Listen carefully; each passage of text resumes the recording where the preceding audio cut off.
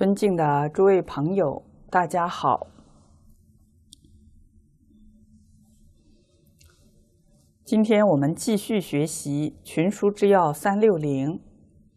我们看贵德的最后一个条目十一有恒，请看第一百五十七条：合抱之木，生于毫末；九层之台，起于垒土；千里之行，始于足下。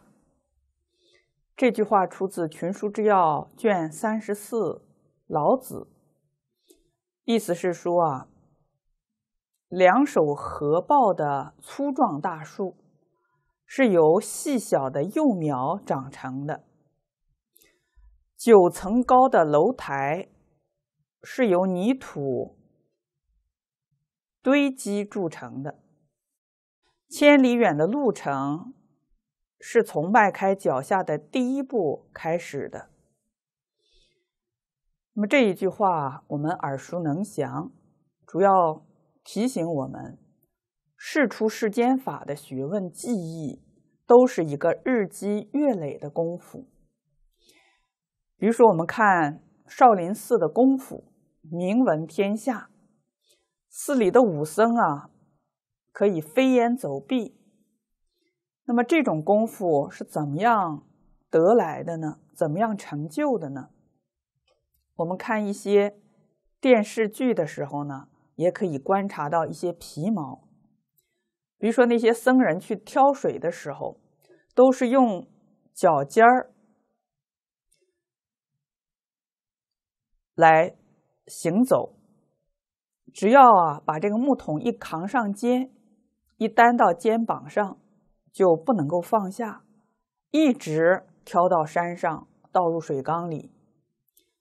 而且在挑水的时候啊，在脚上还绑着沉甸甸的沙袋，这样一天挑几次水，天天坚持，天天坚持，就能锻炼脚上的力量，日久天长，才能够练就飞檐走壁的功夫。那么练气功的人，练太极拳的人，练八段锦的人，都有这个体会。告诉我们，练功夫它是一个日积月累、潜移默化的过程，不是一蹴而就的。那么，经过长时间的练习，才能够通过量的积累，达到质的飞跃。我们学习世间的技能，都需要坚持每一天的不中断。所谓“拳不离手”。曲不离口，你看打拳的人，这个拳啊不可以一天不打；唱歌的人，他这个歌呢不可以一天不唱，嗓子呢每天都要练习。那像我们讲课的人呢，课也不可以一天不讲，而且呢要到各个场合去讲，这样才能够熟能生巧。才能遇到各种场合都能够应对，不会怯场。像我们学校啊，有一位老师，他讲课呢讲的特别好，学员每一次打分呢都是全校第一。那有一次啊，我就去请教他，这个课怎么样才能讲好？他笑着回答说：“其实很简单，就是多讲嘛。你讲的这个东西啊，熟的不能再熟了。”熟透了，你自然能够得心应手。该长讲的时候长讲，该短讲的时候短讲，谈笑风生啊，应对自如。而且要各种场合去讲，面对各种观众。哎，有的时候呢是给省部级的干部讲，有的时候还要到农村给那些不太识字、没有什么文化的老太太、老爷爷讲。无论学。学位高的还是学位低的，有没有受过教育的人都能够听懂，这样呢才能够啊熟能生巧。在欧阳修写的《卖油翁记》中呢，也给我们讲了这样一个道理：我们再回顾一下这个中学课本的典故，对我们仍然很有启发。陈康肃公尧咨善射，当世无双，公亦以此自矜。这个陈尧咨呢，特别善于射箭，他射箭的功夫很好，在当时的时候啊，没有人能比得上他。他也经常以此呢，有点沾沾自喜。常射于家圃，有卖油翁贺旦而立，逆之，久而不去。有一次呢，陈康肃公啊，就在他们家的场地呀练习射箭。有一个卖油的老翁，把这个担子卸下来。站着那儿，斜着眼睛看他，看了很久也没有离去。见其发矢，十中八九，但微汗之。看到他射箭呢，射出去十支箭呀，中了八九支，他只是微微的点头微笑。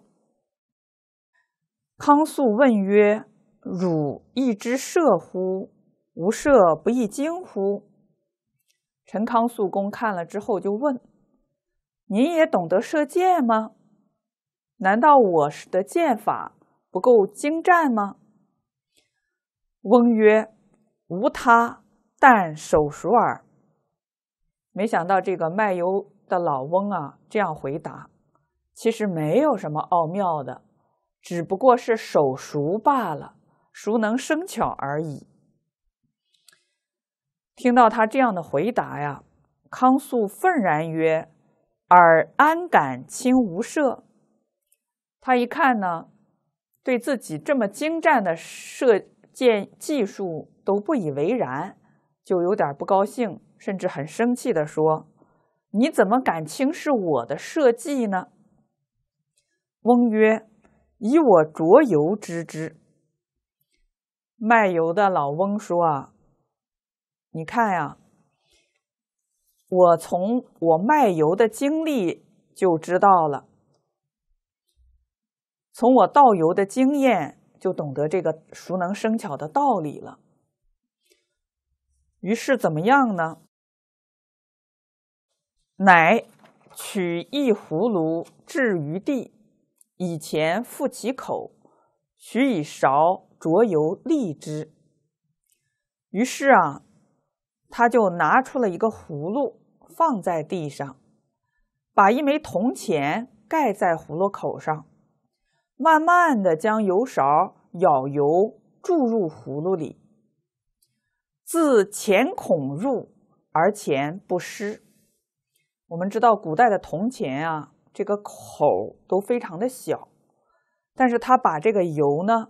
从前孔注入，但是啊，钱却没有湿。因曰：“我亦无他，为手熟耳。”于是啊，他说：“我也没有什么别的奥妙，只不过是手熟罢了。”康肃笑而遣之。陈康肃公听了之后啊，笑着就把他送走了。说明呢，他说的很有道理。其实，无论是世间的技艺，还是出世间的学问，都是一个熟能生巧、日积月累的过程而已。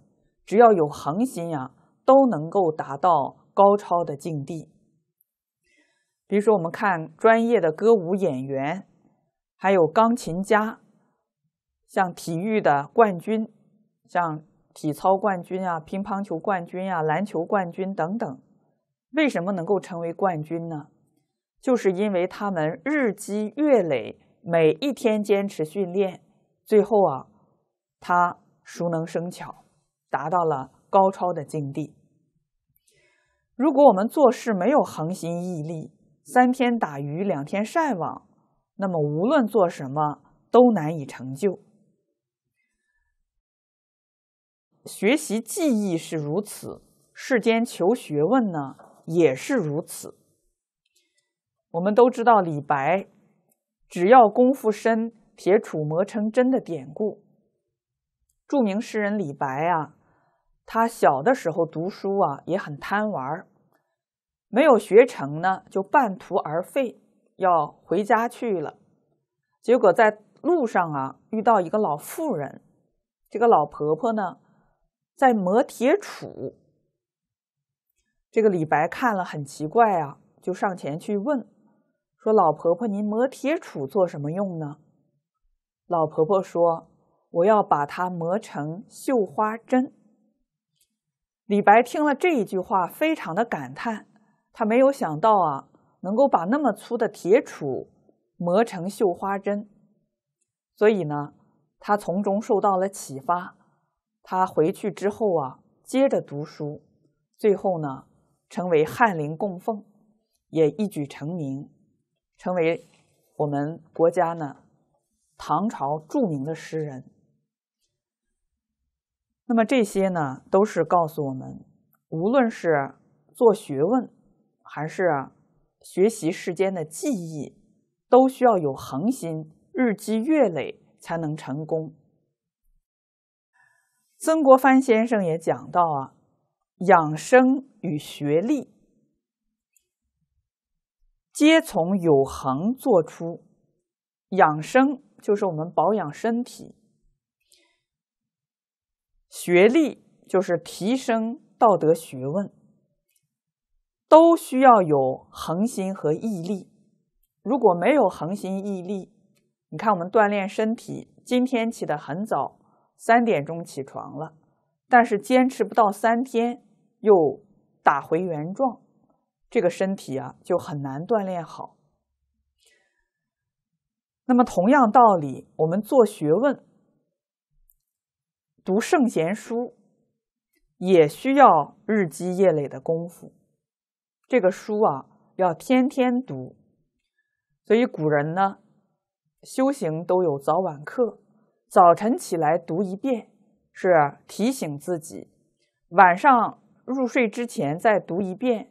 是用经典来反省自己，这样天天不停止，才能够把自己的修身呢功夫提升起来。那我们尊敬的老法师呢，也经常讲，学习汉学、学习传统文化和西方学习的方法不一样。我们学习的方法是读书千遍，其义自见。为什么读书千遍就其义自见了呢？因为我们把这个书读了一千遍呀，我们的心定下来了，因戒得定，因定开慧。我们这个智慧是本自具足，所以《大学》上说：“大学之道，在明明德，在亲民，在止于至善。”我们每一个人都本具明德，有无量的智慧、无量的德能、无量的向好、无量的财富，这都是我们本性具足的。那么，怎么样把这些无量的智慧宝藏开发出来呢？那就是要定心，定下来，智慧啊，自然开启。所以，我们古人形容我们的心定啊，叫心如止水，波澜不兴。比如说，我们看这个水啊，起了大风大浪了；比如说，我们生气了，这个水呀，就像起了波涛一样，在这个波涛的带动下呢，这个水很浑浊，泥沙也在其中，所以呀，对外界的映照啊，就不清楚，而且是歪曲的。那我们把这个怒气呀压下来，但是呢，还会有一些呢心念上的波动。比如说，我们看谁不满意了、不顺眼了，有一点嫉妒心了，这个叫小小的波纹。虽然不像大风大浪那样对外界的映照啊是完全歪曲的、看不清的，但是也会有很多些许的歪曲。那么，只有我们把心呢平静如水，一点波纹都没有的时候，对外界的映照才是如实彻底的。所以，为什么说他心通是我们本有的能力呢？就是因为他的心很清净，他自己心里没有杂念，没有污染，所以怎么样呢？别人的心念啊，被他映照的清清楚楚，他就能够知道别人的想法。所以，我们对事情看不清楚，没有智慧，根本原因在哪里呢？根本的原因就是在于我们没有定力。所以，大学上说呀：“知止而后有定，定而后能静，静。”而后能安，安而后能虑，虑而后能得。知止，就是我们看到财色名利的时候啊，要懂得放下，要能够看破，知道这些呢都是身外之物，这些东西呢都不足以啊。成为我们追求的对象，古人把它称为身外之物呢，实际上是非常有味道的。为什么叫身外之物啊？我们想一想，我们这个身体都是刹那生灭的，都是啊由强壮变得衰老的，我们自己都无能为力，控制不了。我们想自己很健康，一点病都不得，我们能做得到吗？很多人做不到，哎，我们希望自己很聪明，记忆力很好，一目十行，过目不忘，我们能做得到吗？哎，我们还是那么愚钝，别人告诉我们一件事，我们转头就忘了，我们连自己的身体都控制不了，都无能为为力。请问，在这个世界上，还有什么东西是我们可以控制的呢？所以这些外在的财色名利啊，更是控制不了的了。明白了这个道理的话呢，你就不会再想去占有，才不会想去获得，欲望就止息了。当然，这个知止啊，也有人解释为，你知道你人生的目的是什么，人生的意义在哪里，止于至善。我们。人生的目的呢，就是自觉觉他这两项都达到圆满，这个叫至善。如果我们知道这是我们一生要追求的目标，这是我们一生的价值所在，我们就知道怎么样呢？我们就知道应该去追求什么，不应该去追求什么。就像我们一个人要爬山一样，这个山顶是他的。所指之处，他要所达到的目标，那么怎么样呢？在这一路过程之中啊，就不会被这个鲜花给诱惑，哎，又不会被好的风景给干扰，他呢就会一直啊攀登到山顶上去，不会被这些外在的环境呢所左右。所以知止而后有定，你就有定力了，定。而后能静，有定力之后，心能够静下来，就能够安。安，而后能虑。这个虑呢，不是思思考，而是一种本性的智慧的开启。你看什么，什么都很清楚。虑而后能得，那么这个呢，才是真正的收益。这个德是什么呢？这是把本性的明德给开启了。这个获得呢，是最大的利益，不是我们一般所讲的财色名利啊这些外在的东西。所以你看呢，我们修学、提升自己的道德学问，也是需要长期的日积月累。如果忽视了这个功夫的话呢，那就不能够达到预期的目的。所以呢，要精进不懈怠，才可能开启自性的明德。古人呢，也以有恒作为成圣成贤的基础。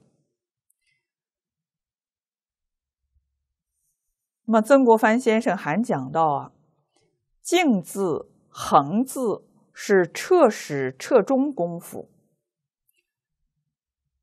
说明呢，恭敬心、恒心是从始至终都要保持的，丝毫不可以放松。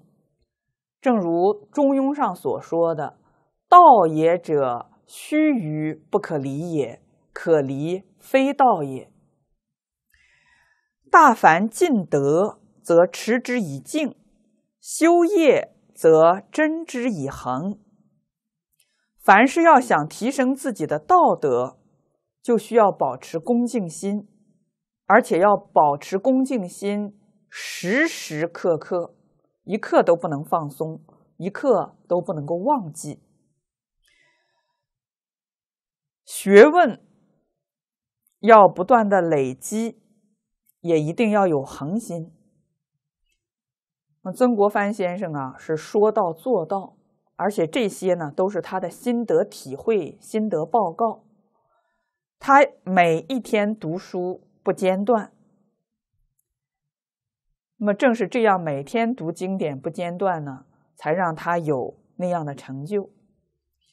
我们知道，曾国藩小的时候啊，天资不是很聪颖，记忆力不是很好。有一次呢，家里来了一个小偷，已经呢很晚了。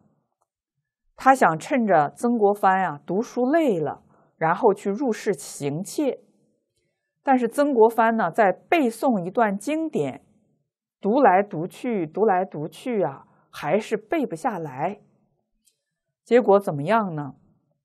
这个小偷啊就等得不耐烦了，他从屋顶跳下来。把他刚才所背诵的那一段经典从头到尾的给他背了一遍，然后就扬长而去了。所以你看，这个曾国藩呢，确实啊，资质不是很聪颖，甚至很愚钝，记忆力不是很好。小偷都能够背下来了，结果他翻来覆去还没有背下来。但是他一生的成就啊，就是因为他有恭敬心，他有恒心，每一天读书都不间断，每一天做笔记反省自己。那么像康熙皇帝啊，在给孩子的教诲当中也讲，他自己没有一天不练字，不管呢朝政多么的繁忙。他还是一定要抽出时间练几行，所以功夫没有间断，才写出那么庄严的字。那么这个呢，是我们讲的这一条。我们看一百五十八条，故不积跬步，无以至千里；不积小流，无以成河海。这一段呢，出自《群书之要》卷三十八。孙清子，也就是荀子，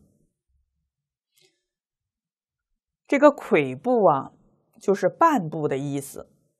古人行走，举足一次称为跬，举足两次就是左右各迈一次，这个才称为步。这个意思就是说呢，不积累半步前进。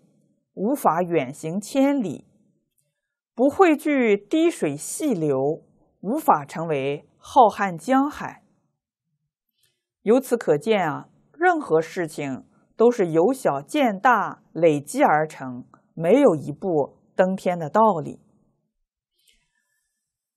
前面那一句话呢，是从正面来讲；这句话是从反面来讲，告诉我们做事如果半途而废呢？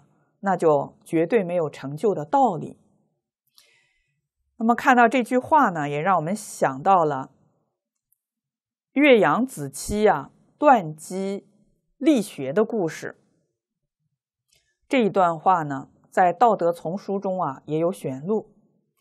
最近呢，师傅老人家呀，经常向大家推荐红画社啊印刷的《道德丛书》这一套丛书，编辑的很好，里面呢全都是因果的故事、伦理道德的教育，而且是用最浅显的文言文所写的。每一个故事啊，都是短小精悍、言简意赅。这个断机力学的故事讲到啊，战国岳阳子远寻师学。远寻师学呢，就是，到很远处啊去拜师求学。一年来归，一年之后呢，就回到家里。妻问其故。妻子就要问他：“你为什么回来了？才学了一年，怎么就回家来了呢？”杨子曰：“久出怀思，无他意也。”这个岳阳子啊，就回答了：“出行在外太久了，心中想念家人，没有其他特殊的事儿。”妻乃引刀。断机而言曰：“此之始于蚕丝，成于机杼，一丝而累，以至于寸。”他的妻子听了这样的回答呢，他很有智慧，他做了一个动作，什么动作呢？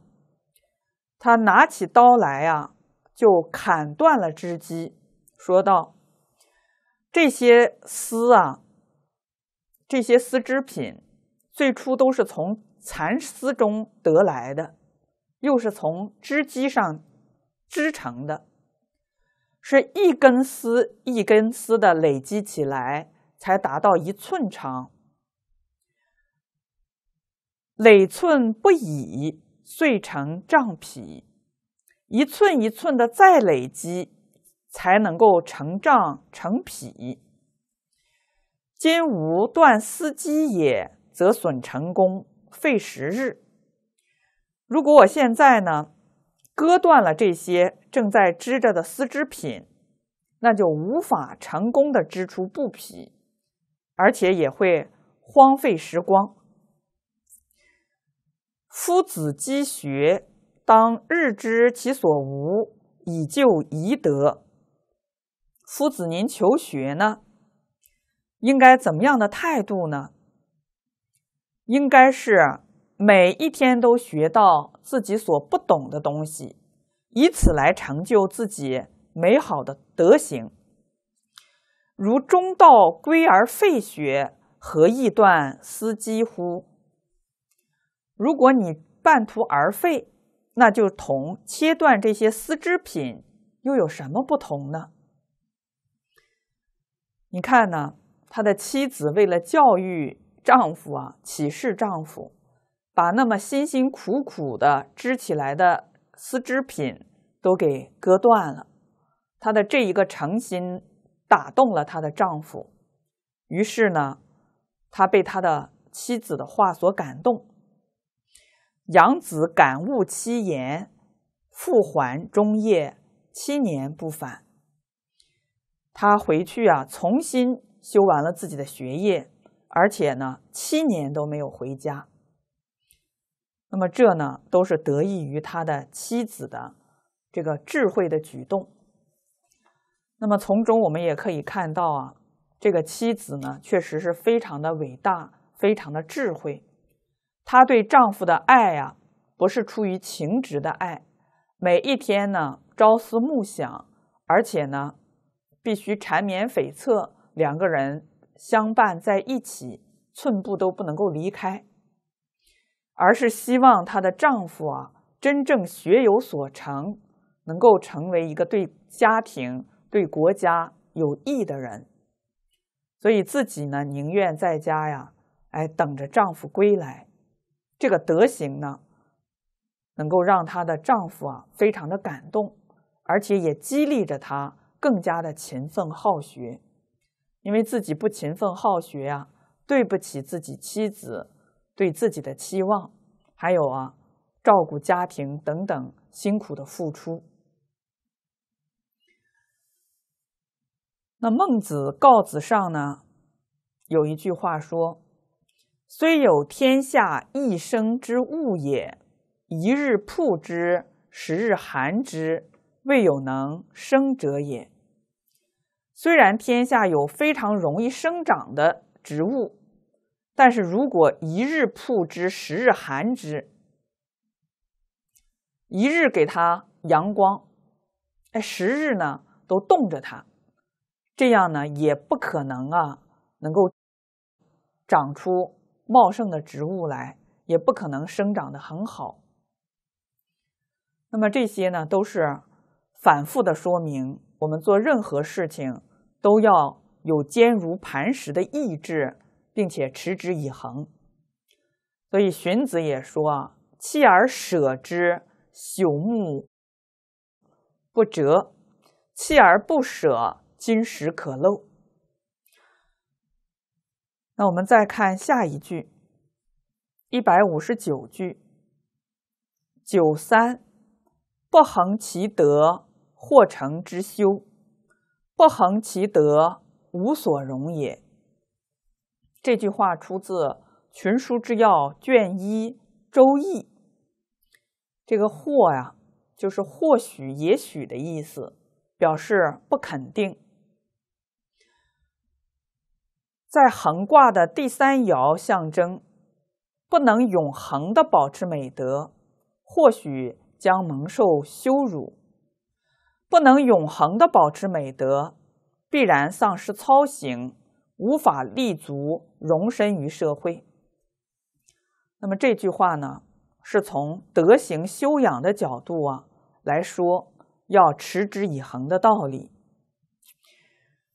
正如毛主席所说的，他说：“一个人做一件好事并不难，难的是一辈子做好事，不做坏事。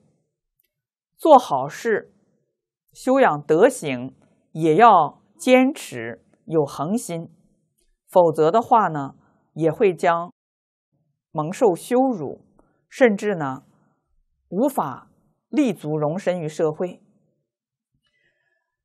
那么，在孔子家语中呢，就记载，子贡啊来向孔老夫子请教，说：“夫子啊，我可不可以休息一下？今天不用孝顺。”夫子说：“孝顺是做人的根本，怎么可以停下来呢？不可以休息。”子贡啊，很难得。听了老师的教诲，就依教奉行。老师说不让休息呢，他也就接受了。他又问：“对国君尽忠职守，负责尽职，可不可以休息一下呢？”夫子又说：“不行，这个事情太重要了，它是关系到整个国家的安危，怎么可以休息呢？”那子贡又问。种田可不可以休息一下？这段时间不不需要种。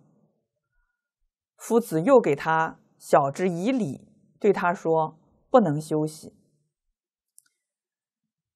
那么这个也不能休息，那个也不能休息。结果子贡就问了：“那夫子，那到底什么时候才可以休息呢？”夫子说：“啊，你看看远方，那有一个坟场。”你到那个时候就可以好好休息了。什么意思啊？事不可以不弘毅，任重而道远。人以为己任，不亦重乎？死而后已，不亦远乎？人不到这一口气没有的时候啊，尽德修业都不可以休息。那么这个呢，就是告诉我们呢，人开始啊闻听圣贤之道的时候，可能都是啊勇猛精进，决心也很大，勇猛的改过自新。但是做着做着呢，就不像起初那样精进了。所以有一句话说啊：“学佛一年，佛在眼前；学佛两年，佛在天边；学佛三年，佛化云烟。”这都是给修行人的一种提醒，能够啊保持初心，坚持不改，精进不懈，这个对于修行的成就啊是最重要的。那么同样道理，对于治国理政而言，领导者他能够啊慎终如始，也是非常重要的。在《贞观政要论慎终》就记载着这样一个故事：在贞观十六年的时候，太宗问魏征曰：“观晋古帝王，有传位十代者，有一代两代者，亦有深得深失者。”贞观十六年的时候啊，唐太宗问魏征：“我看近代的帝王，有传位十代的，也有只延续一代两代的，也有自己取得天下又自己丢失天下的。朕所以常怀忧惧，或恐抚养生民不得其所。”或恐心生骄逸，喜怒过度，然不自知。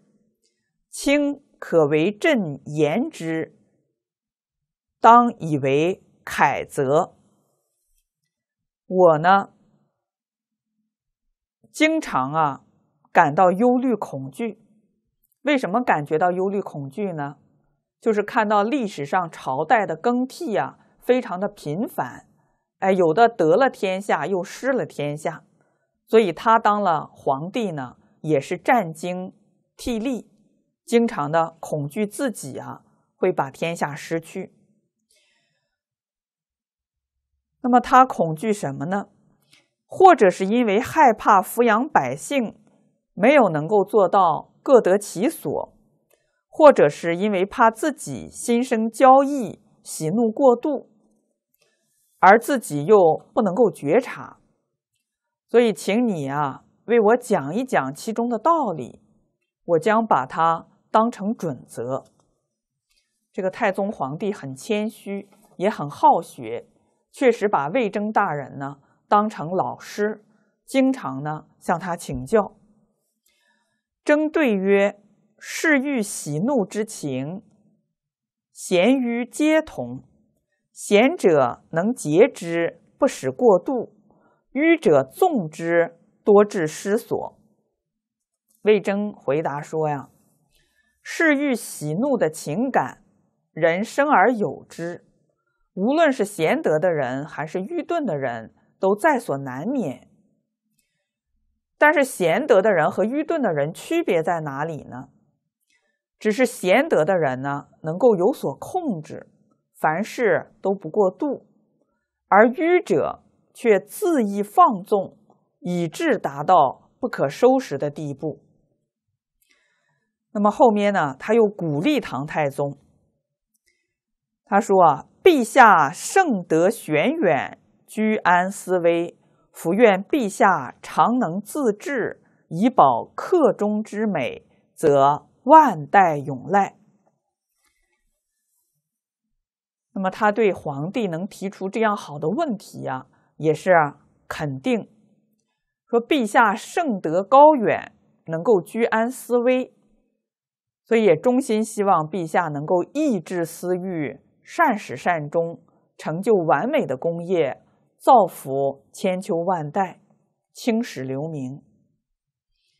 所以你看呢，太宗皇帝啊，之所以能够成就贞观之治。确实和魏征等大臣在旁边时时的提醒密切相关。那么从这里呢，我们再看历史啊，有很多的为官者，也都是熟读圣贤书的人。因为古代为官呢，你不从小熟读圣贤书，你根本呢就考不上科举，你也不可能出仕为官。但是每一个朝代也都出现了贪官，还有奸臣，这是什么原因呢？这就是因为不恒其德，或成之修，无所容也的原因。这些人不是没有读圣贤书，不是不明白道理，但是啊，因为欲望太强，不能够克除自己的欲望。没有做到孔老夫子所说的克己复礼，所以怎么样呢？最后呢，就是啊，无所容也，没有办法容身于社会。就像明朝的严嵩，他的学识非常好，读书读了很多，但是他仍然是大奸臣，草菅太多的人命。心狠手辣呀！最后啊，皇帝啊也不想亲手杀他，为什么呢？因为古人呢对于大臣呢都非常的尊敬。那么你已经做了这么高的官位了，要怎么样呢？要给他留着一定的尊严，这样他才能够更加珍惜自己的官位，不敢随便的为非作歹。所以皇帝啊。还送了他一个金碗，结果怎么样呢？结果他拿了这个金碗，但是全天下的人都知道他是严嵩，都恨他呀，恨透了，恨之入骨。最后呢，他是饿死了。所以你看他有没有福报呢？没有福报，怎么可能当到宰相呢？他有没有学识呢？他也读了很多的圣贤书，也是啊，出口成章啊。但是最后呢，还是敌不过欲望，才越走越偏。所以人最难战胜的是自己，最难战胜自己的欲望和习气。所以，我们中国古人呢，特别的有智慧。你看这个寺院里大雄宝殿。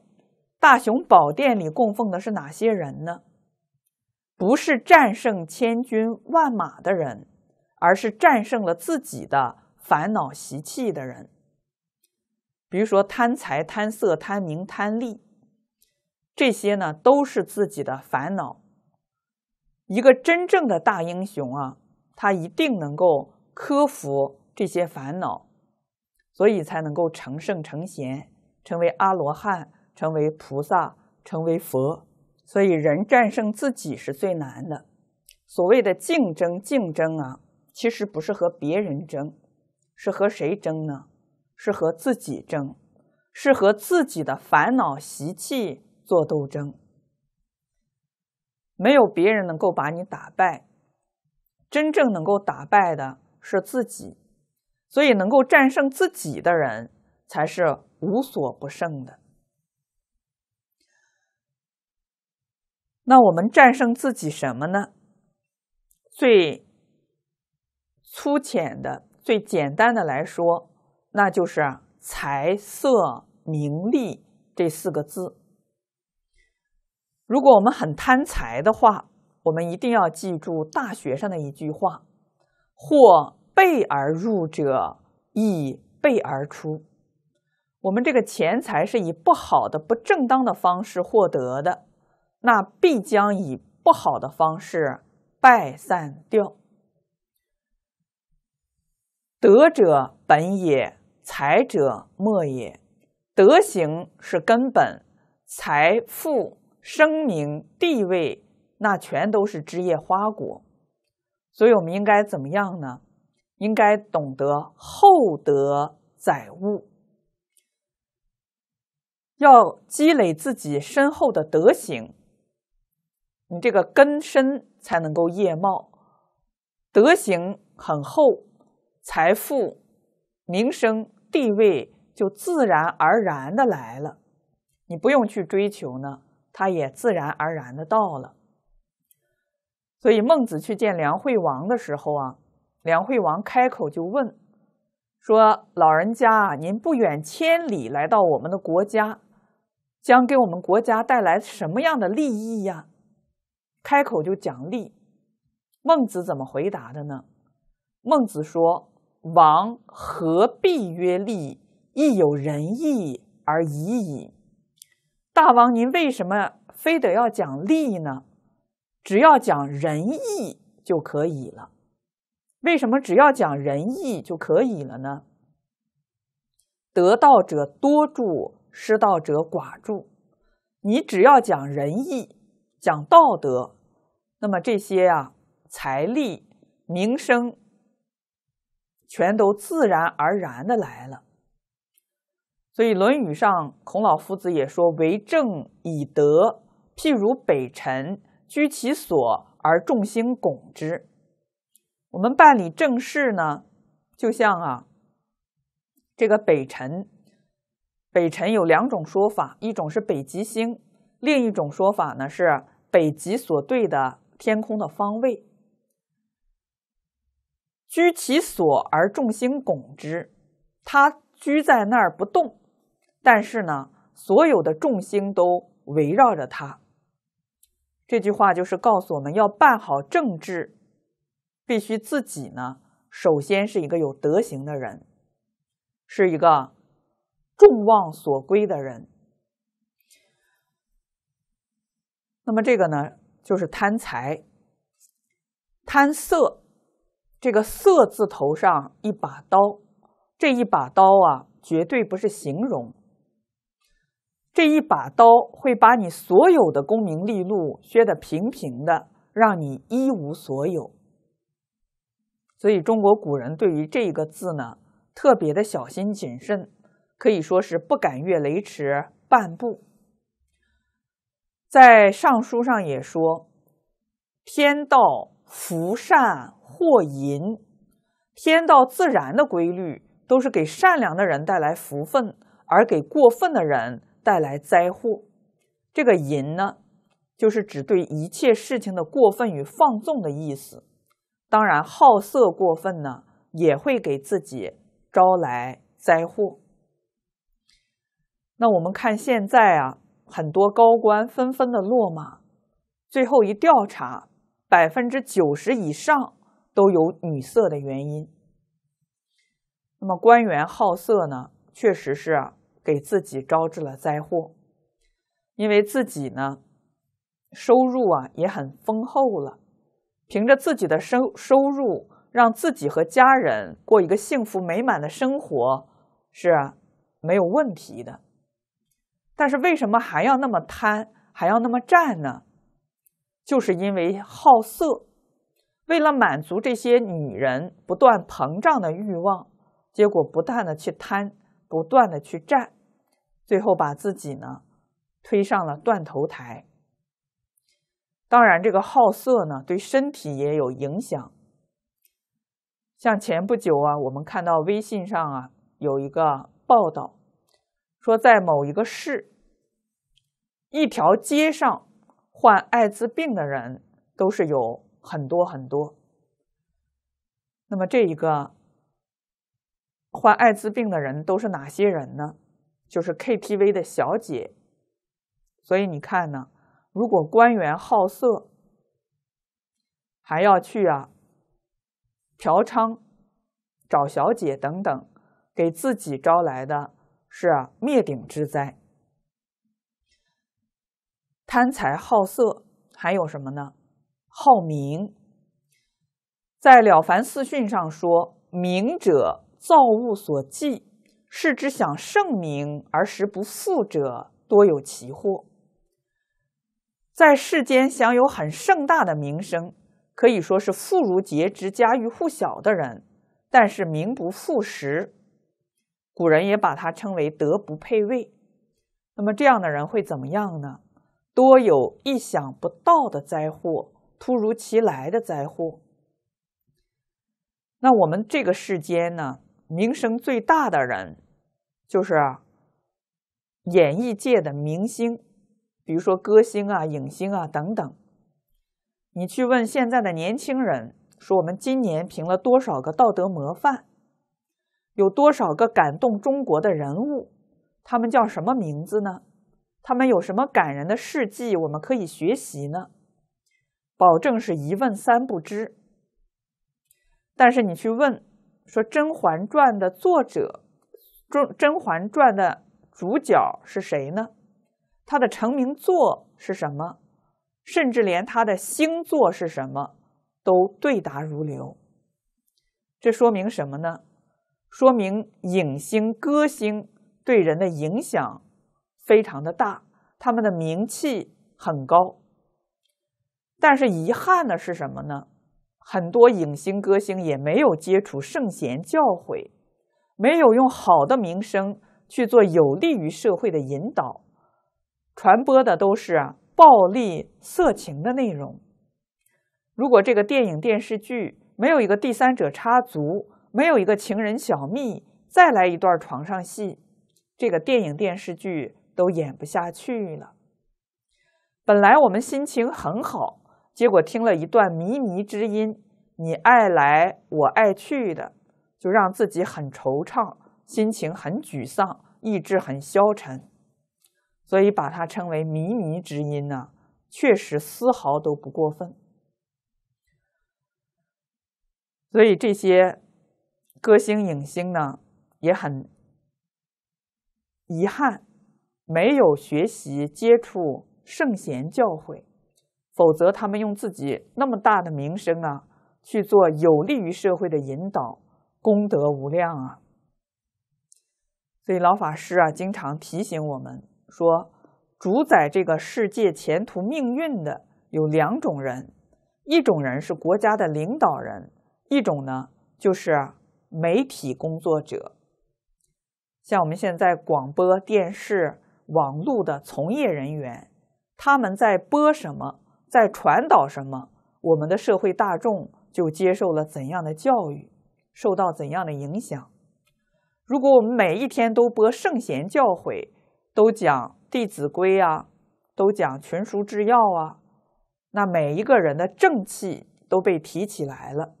他知道什么是善，什么是恶，知道啊，做善有什么样的好处，做恶有什么样的因果。他就不敢去做恶，而且是积极主动的去做善。那么，这个对社会的影响呢，就太大太大了。所以，圣贤教诲呢，确实啊，应该在社会上啊大力传播。建国军民教学为先，而现代最好的教学工具就是网络、电视、广播。文艺作品等等，最后呢是贪利。这个利呀，就是凡是有利于自己的环境和条件，都会去贪着。古人提醒我们要见利思义，见得思义。看到有利益、有获得的时候，首先考虑它符不符合道义。如果不符合道义呀，那就是送给你呀，你都不敢要。那么这个呢，才是一个真正明理的人所做出的正确的选择。正是因为人战胜自己是最难的，战胜自己之后所获得的喜悦、所获得的成就，也是无人替代的。那么这一句话呢？告诉我们，修养德行也要有恒心，否则的话呢，就会给自己带来羞辱，甚至啊无法容身于社会。像张发厅长啊，就曾经分享过，他说：“从政的人，不管有多少次成功，都不算成功；一次失败，就足以身败名裂。”在人生道路上，我们输不起无数次成功后的一次超越法律与道德底线的失败，因为法律没有将功赎罪这一说，世界上也根本买不到后悔药。后悔后悔啊，那都是到后面才悔，悔之晚矣。一失足而成千古恨。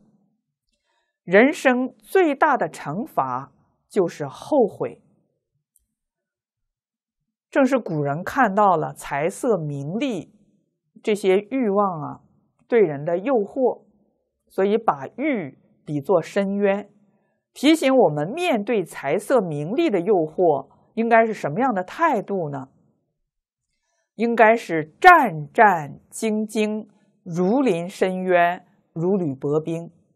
当别人拿着金钱美色来诱惑我们的时候，我们就好像自己站在悬崖面前。为什么呢？在悬崖面前，一不小心，一只脚踏进了这个悬崖，再想后悔，再想翻过身来，还可不可能呢？那就是不可能的了。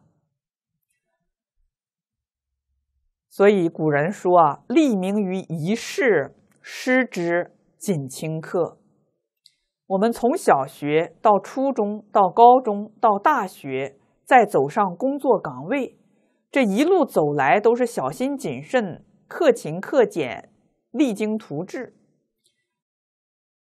过五关斩六将啊，克服了很多鲜为人知的困难，终于有了一个好的位置。可以发挥自己的才能，可以为人民服务，为国家奉献，让父母安心了。